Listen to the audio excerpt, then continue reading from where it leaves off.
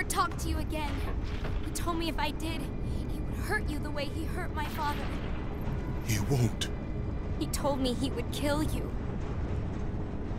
He can't. We must leave this place. Come, I can show you the way.